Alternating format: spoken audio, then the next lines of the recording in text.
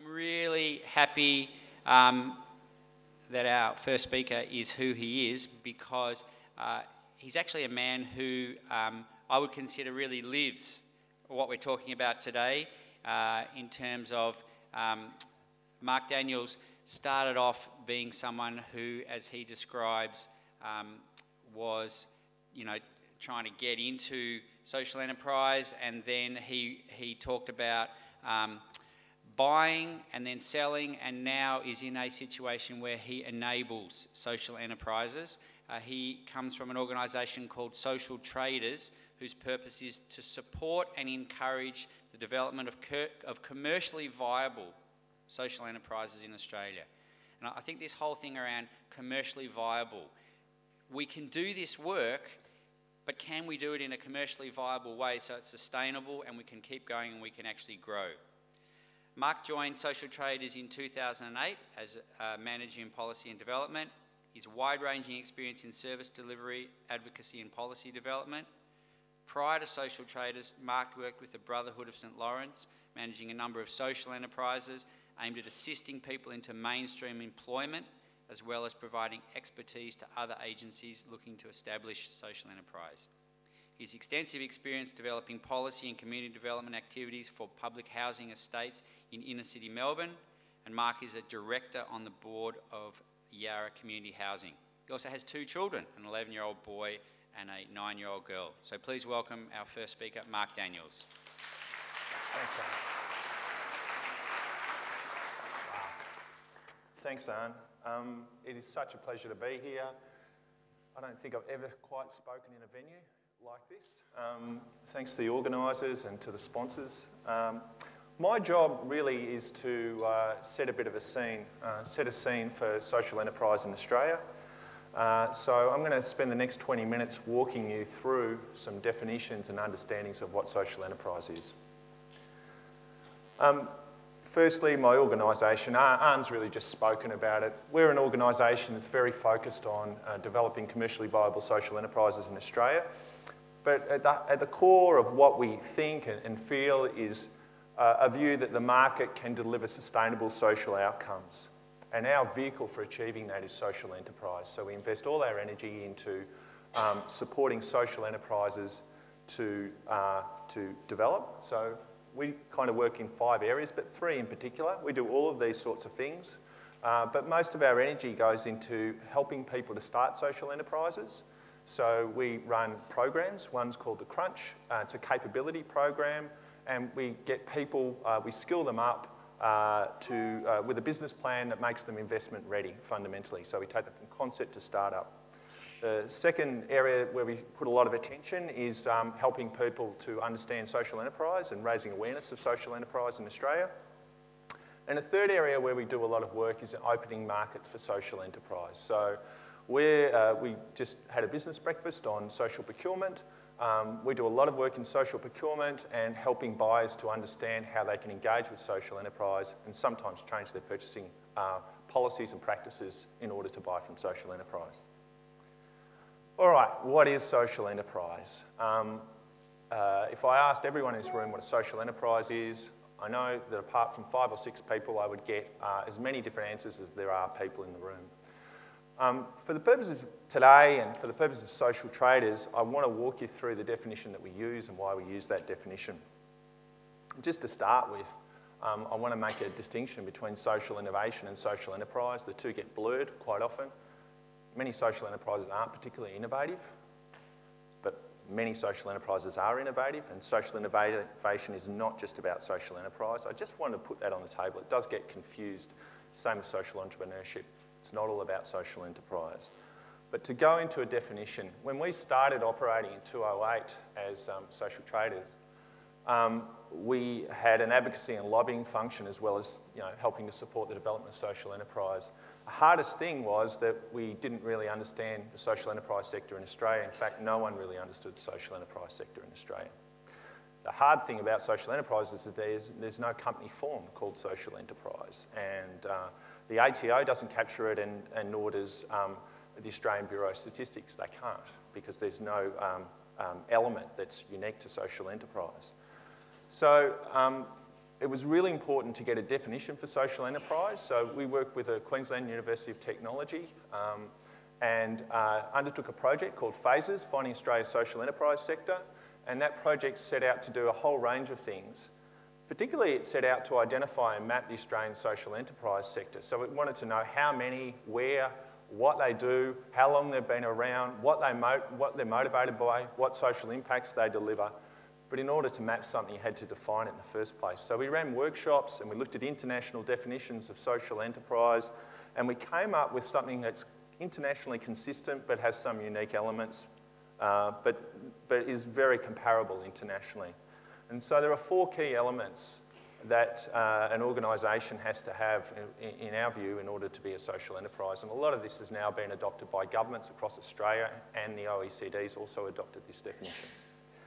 Social enterprises are organisations that are led by an economic, social, environmental, or cultural mission consistent with public or community benefit. The most important words in that are public or community benefit. They're driven by public or community benefit. They're not driven by private uh, shareholder wealth or the creation of individual wealth. Uh, the second element is that they trade to fulfil their mission, so they have to sell goods and services, which makes them quite distinct from a, a number of not-for-profit organisations that don't sell goods and services, that, that deliver government-funded programs. They derive a substantial proportion of their income from trade, so 100% of their income doesn't have to come from trade. Of course, it's it's really nice when 100% of their income does come from trade because they're not dependent on other income sources. They actually, uh, the market is the only um, thing that they actually have to respond to. And finally, they reinvest the majority of their profit or surplus in the fulfilment of their mission. And I guess this is really important because it means they don't have to be not-for-profit organisations. So for-profit companies, companies limited by shares, in fact, the whole company range, apart from publicly listed companies, could be a social enterprise by definition. And there are a number of examples of, of, of uh, for-profit structures being used and, and writing into the constitution that for-profit structure a commitment to reinvest the majority of the profits from the business back into a social or community benefit. Okay, why social enterprise? Really quickly, this is just an image to capture the fact that social enterprises are different from community programs. Community programs tend to burn bright and short and deliver high social impact. And social enterprises will often not deliver the high social impact, and it's something that funders and investors need to get their head around. They do it over a long period of time. They don't burn bright and short. If they're well run, as businesses need to be, they burn for a long, long time and they deliver a, long, a lot of social impact over an extended period. Sorry. Okay. We think that social enterprises fit into three fundamental motivations. One is around employment and training, employment training support for marginalised groups. The second is products and services in direct response to a community need that is unmet by, unmet by the marketplace. And the third one is um, profit redistribution for social impact. The only one I would really want to touch on, I'll give you some examples in a tick, is around products and services in direct response to an unmet community need. Basically, it's saying where there's a market failure, social enterprises can often solve or come up with a solution to that problem. And the examples I've got there are around community childcare centres, even the Bendigo Community Bank model, not the Bendigo Bank model, but the community banking model, Hepburn Wind. Like, uh, why does community childcare exist? Because the market wasn't meeting the needs. And so the, the uh, uh, social enterprise sector filled the gap. Just to give three examples of each of those, we call them buckets, um, bucket one, two, and three. You can call them that. You can ignore our bucket analogy, but uh, we, we, we find it very simple. We ran social enterprise awards with Foresters Community Finance this year. Um, we got three, we had four winning social enterprises in those awards. Uh, three of them, uh, all four of them fit into three buckets, but I want to use three of them as examples of these uh, different motivations. One is Resource Recovery, which is based in um, Forster Tuncurry. They are a social enterprise that um, runs a tip shop and they uh, run a transfer station. Uh, they've been doing that for 23 years in Forster Tuncurry, and their social motivation is to create employment for Indigenous ex-offenders. Uh, there is a significant uh, Indigenous unemployment issue in the Forster Tuncurry area. I think it runs to about 95%. So these guys, over 23 years, have been employing Indigenous ex-offenders as their social beneficiary group. And in that time, they've only had one ex-offender go back to jail and they held the job for that person. And when he comes out of jail, they'll be back into that job. They're the largest employer of Aboriginal people in the Forster Tuncurry area. And they run a 10% profit annually. The second bucket, uh, and this is the winner of Social Enterprise of the Year Small, uh, the last one was Social Enterprise Large, is Connecting Up. And a lot of you, if you're a not-for-profit, have probably come into contact with Connecting Up. They sell um, computer software uh, at discounted rates to not-for-profit organisations. Over the last uh, 20 odd years, they've saved uh, the not-for-profit sector $50 million in spending on um, software by uh, their sales process. And the third one is Thankyou Water. And if you haven't heard of Thankyou Water, you will soon because they're just about to go into Safeway and Coles. They're in 7-Eleven. They're in all the Australia Post stores. They're in IGA. And Thankyou Water um, uh, sells a water product, um, bottled water, and they've just started to sell food and other products as well, where all of the profits from the sales of the water go to uh, water aid projects in developing countries. Uh, the two people who run this, a couple, uh, were 19 when they started this social enterprise. I think they're almost 25. Dan Flynn, the founder, got uh, Young Victorian of the Year last this year. Actually, it was just announced and I think they redistributed $500,000 to water aid projects this year. Next year, when they're in Coles and Woolworths, they're probably going to treble or quadruple that amount. So just those are the three fundamental motivations and three examples of those. What are the characteristics of a, a, a successful social enterprise? Well, firstly, it's a good business. And I really want to uh, sort of ram that home. They are businesses fundamentally. They are not community programs and the use of the term program and social enterprise interchangeably is quite confusing at times. They're not programs. Um, they uh, live and die based on the market. All the rules of small business apply to them. Um, and they start based on market opportunities. If there isn't a market opportunity, the assumption that you can build it and they will come will usually result in the failure of that social enterprise. Not anyone can start a social enterprise. You have to have the right skills or you need to be able to build the skills in your organisation and you need the right people around you to make it successful. In some cases, being a social enterprise actually reduces your financial sustainability. So if I'm employing people who are disadvantaged, I have a productivity deficit in my business. Someone's got to cover the cost of that productivity deficit and it's very rarely the buyer who will pay for that. So you have to accept a reduced profit margin in a business like that. And in some cases, philanthropy or government or others have to fill the gap in that business so that it's that's able to be sustainable. In some cases, it can actually enhance the financial sustainability. And there are many examples. Uh, one of my favourites is, is, the Yackandandah Community Development Company in, in remote Victoria, if such a word exists, but it's six hours from Melbourne. You know, the local petrol station went bust. The community bought the petrol station, the right to have the petrol station in that community. And then they ran a community share float in 2002. And as a social enterprise, it's been incredibly successful. As a private business, it lost $500 a week.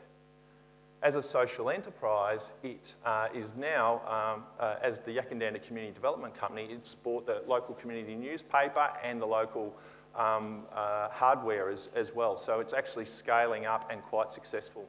Instead of doing 10,000 litres of petrol uh, a week, it does 35,000 litres of petrol a week because people in that community own it. So where is social enterprise at in Australia? I'm just going to tilt this up if I can. A um, couple of points, and these are just some key stats that I uh, assembled for this presentation.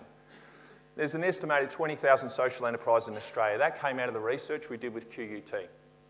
Um, the number has grown at a rate of 37% over the past five years. That's um, been undertaken by independent research as well. 73% of the uh, uh, uh, social enterprises in the FASES research have been operational for at least five years, 62% at least 10 years. It's quite a mature sector. The word is new, the phrase is new, but social enterprise has been operating for hundreds of years and uh, as Jo Barraket would say, uh, an academic in this area, social enterprise has been around since Babylonian times. Uh, Australian social enterprises operate in all markets, from the local to the international and all sectors. So at the highest level of the Australian Bureau of Statistics categories of industries, there are 25 industries. Out of a sample of 350 social enterprises, they were operating in every industry. So there aren't barriers to social enterprise in, in relation to industry. 39% of all income in the not-for-profit sector is earned through trading, equating to around 22 billion per annum. And we estimate that social enterprise is around 2 to 3% of GDP in Australia. And I'll just click through some of these. These are the stats coming out of FASES. And what's interesting about them is that um, the breakdown of small, medium and large social enterprises, you can see in that pie chart, almost mirrors the breakdown of small, medium and large private businesses in Australia as well. So there aren't barriers to growth for social enterprise necessarily inherent in the fact that they are social enterprise. Here are some reflections on social enterprise. I think it's on a wave that started really about 15 years ago. Um, I think that previous waves were led by really economic necessity. So, uh, uh, you know, we founded mutuals and uh, cooperatives 100 uh, odd years ago because uh, no, no, other model was appropriate to set up those organisations. In Victoria, we have something called the RACV that's 120 or 130 years old. It's a great example of a social enterprise that was created because that was the best way to create that business structure. A lot of the insurance companies were mutualised initially. Social enterprise was a form of, uh, uh, wasn't, it wasn't called social enterprise clearly, but it was using the principles of social enterprise. What we've seen in the 1990s is really a link between job creation and social enterprise. That's been the new entry into this space. So it's kind of a dynamic space, it's, it's evolving over time, but probably the latest iteration is now incorporating job creation as well. Um, what we're probably seeing is, is, these groups now. We're seeing the community sector and we're seeing the no, to use my French, no bullshit realists from regional and rural Australia people who just want to find the right solution to the problem, and a community buyout and so forth is often a social enterprise model. We're also, also seeing Gen Y really hooking into this space, um, and we're seeing a lot of people exiting the corporate sector as well. They're quite intrigued by social enterprise, and I'm stunned by uh, when we advertise for a job, the number of respondents that we get. We get hundreds of people applying for a job coming out of the corporate sector because they want to use the corporate skills to generate social benefit. Um, past waves have ended quite abruptly, and I guess what I mean by that is that you know when the money runs out or the impetus runs out, they tend to stop. This wave's been quite long. It's been running for about 15 years now, and I keep wondering when we're going to get over the wave or past the wave, and I don't even feel like we're halfway up the wave at this stage. The interest in social enterprise continues to grow, and uh, we're not seeing any uh, abatement in that at this stage. I just want to finish on social traders really quickly um, uh, and, and what we can do, what we do do, and what we can do for you. But some of the things we do, we, we are Victorian based. A lot of our work's in Victoria. Um, and we're not specifically working interstate at this stage, but we are bringing um, people from other states um, and, and, involving them in some of the programs that we're running in Victoria. So, um, ooh, okay, let me just get all this up. Okay, these are five things that I really wanted to mention. If you're interested in social enterprise, we have, uh, and, and uh, you just want to do some initial exploration, we created something called the Social Enterprise Builder, which is an online tool on our website, which is just Google Social Traders. Um, and uh, it basically takes you through from uh, very little knowledge of social enterprise right through to a complete business plan. So we've had uh, probably about 1,500 uh, people work through the whole process and complete business plans or partially complete business plans over the last two years using the Builder. It's a really useful tool. Um, we've got the Social Enterprise Finder. That's a directory of social enterprises across Australia. So what we did with the FASES data that we collected on finding social enterprise is we got 5,000 social enterprises that we found online. We put them all into a database and it's called the Social Enterprise Finder. So you can actually see what exists in the Northern Rivers area uh, already that you may not have known were social enterprises. Uh, this year we ran the Social Enterprise Awards with Foresters. We're also running Social Enterprise Awards in 2014.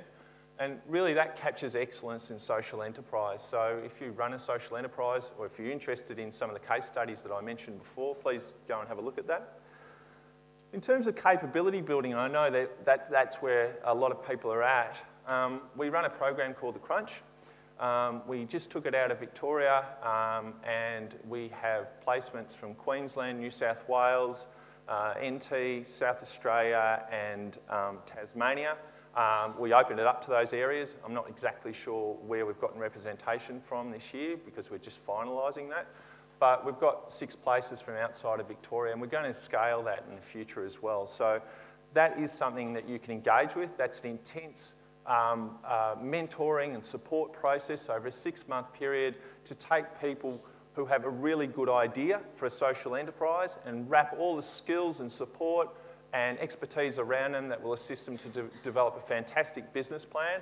And then we assist them by directly investing in them ourselves and uh, bringing other investors to the table to invest in those social enterprises. So the crunch is definitely an opportunity that's available to um, Byron and the Northern Rivers moving forward. Um, and I guess um, a big plug for this one, and I'll put a flyer out, is the Good Gift Shop. Um, my plug is because uh, we, only, uh, we only set the Good Gift Shop up uh, and launched it a week and a half ago um, because Christmas is coming. And the Good Gift Shop is a place where you can buy social enterprise Christmas gifts. We've got over 100 gifts that you can buy.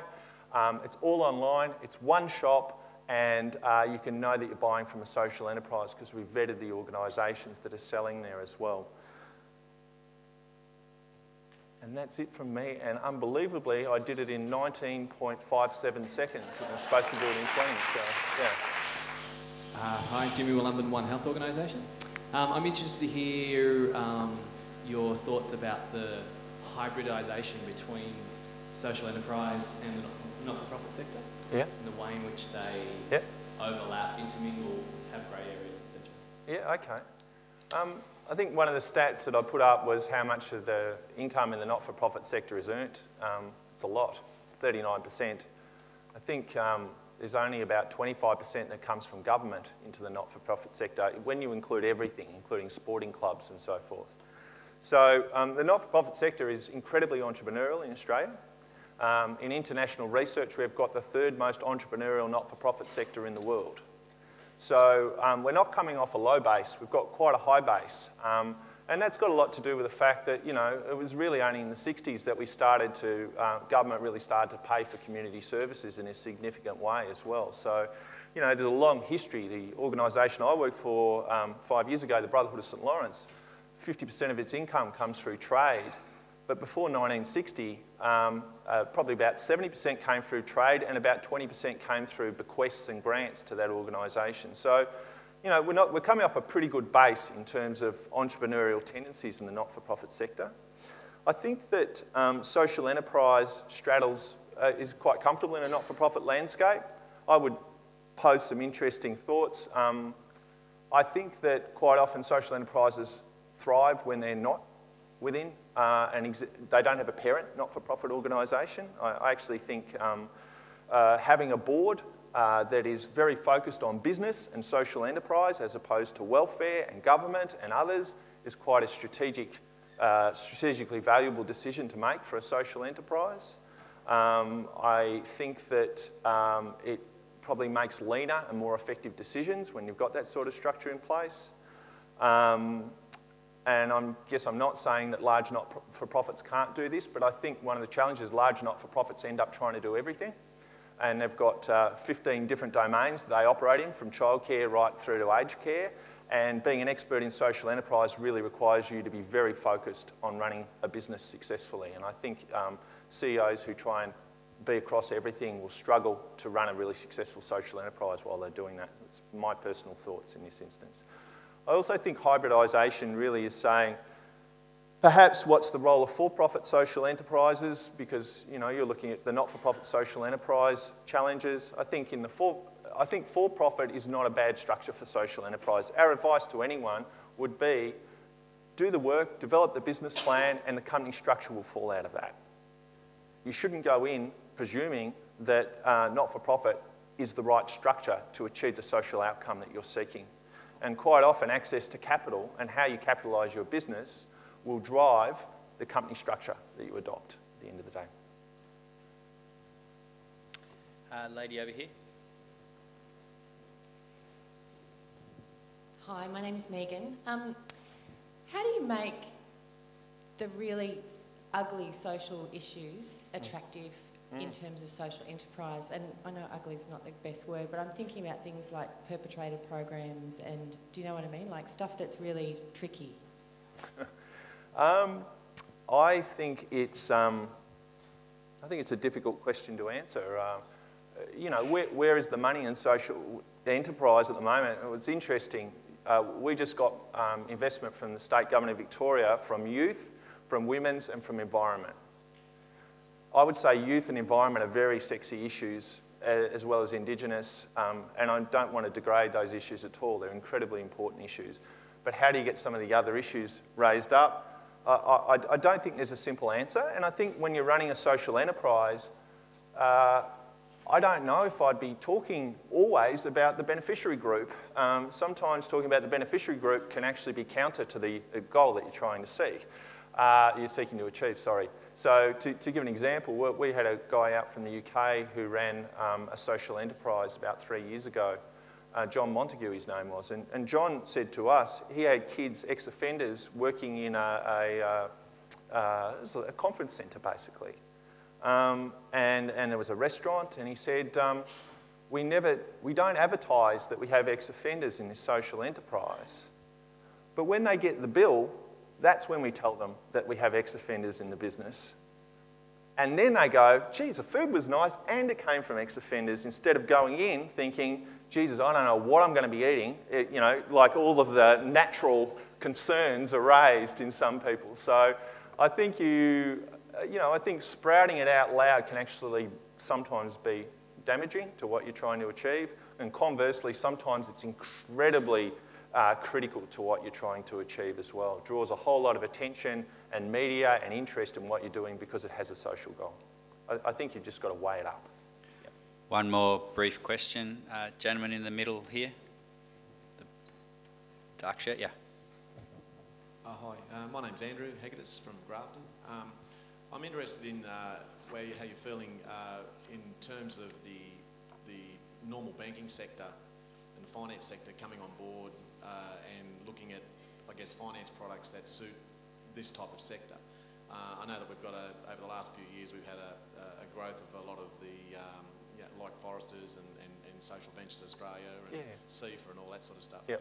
Um, essentially, uh, I, I, work predominantly in the Aboriginal community. Uh, we've been developed, we've been working through our, our whole model has been based on communal ownership and uh, and working with the not-for-profit sector. Mm-hmm. I guess the challenge that's been in our our sphere and, and a lot of not-for-profits for a lot of years is is, is accessing the, the right financial products. Yep. Um, it's only been until now, and what had drawn me today was to come and actually finally have a listen to some of the, the banking areas and, and how they're approaching it. Yeah, good. Um, about 20 years ago, a colleague of mine sitting here, we, we had a conversation with uh, Refshauge, Andrew Refshauge, when he was Deputy Premier, uh, pleading with him to, to approach the finance sector to, to try and look at how that the government can play a role in trying to stimulate the finance sector in developing products that yep. suited the, the not-for-profit sector. Mm. You know, the, the, the, returns over a longer term. Um, I think that social enter enterprise and not-for-profits have a a real place in depressed economies like the region because our, our, our, our objectives in terms of return on capital is a lot different yep. than, than just a, a, pro, a, private one. And I think that, uh, yes, I'd be interested in what you're feeling is how the, the, the, general banking sector is starting to look at it as a, a viable mm. product area. Thanks. Uh, look, uh, you know, I'm certainly no expert on this, and there are others who will be speaking today who are. Um, I would say that um, I think, um, and including one of our sponsors, I guess. Uh, NAB's going to be talking as well. Um, I don't think there are a lot of um, banks who are developing tailored products for social enterprise. That would be the first comment, and that's why SEDIFs have been created as a response to, to a gap. And SEDIFs are social enterprise development investment funds, and you'll hear about that a bit later. Um, but I am very aware that the, all of the banks are developing social products as well, and I'm not going to comment on the social products what I would say is that my organisation um, has taken a very deliberate position on investment. we have DGR status, so we're restricted in how we can invest in organisations. So we don't take equity positions. It's sort of not on the agenda for us. Um, we invest debt and, and grant. So we blend. We do blended finance. And, um, and the, the mixture of debt and grant depends on the business plan. So if the business is going to be very profitable and it can demonstrate that, then uh, the uh, mix will be heavy debt and very little, if any, grant. And if it's going to deliver a high social impact but won't be very profitable as a business, then it will be high grant and small amount of debt. We really like the idea of having debt in every deal that we do with um, social enterprises because we think free money is not actually the answer. Uh, we think it's really important to build in um, uh, a culture of having to repay something as part of what you're doing and building that into your, um, your business every year and, and your financial planning. Um, but we also, we also think it builds a credit record for organisations. Um, and we've had, uh, we haven't actually, we've had no defaulters yet. We're into our fourth year um, of that blended finance model. And I guess what I would say is there's probably models of finance that don't yet exist and that need to exist. And we're running ours as a demonstration of how that might work. And I think you know, Foresters and, and, and others are running other models that are demonstrating things. And I think, you know, it's an immature space at this stage. I think in a couple of years we'll be in a position, I know, where, where we'll actually have a body of evidence that can say what works best for which sorts of social enterprise models as well. So, you know, it's not an authoritative or conclusive response, but um, it's a, I think it's an embryonic space. I mean, capital fundraising through, you know, you're going to hear about co-ops in a minute. I mean, using community share raising is another option, and now we're getting into the, the whole um, crowdsourcing model. You know, there is a really interesting space emerging around financing social enterprise and related sort of entities. Yeah, yeah thank you. It's a watch this space. I think so. Mark Daniels, thank you very much.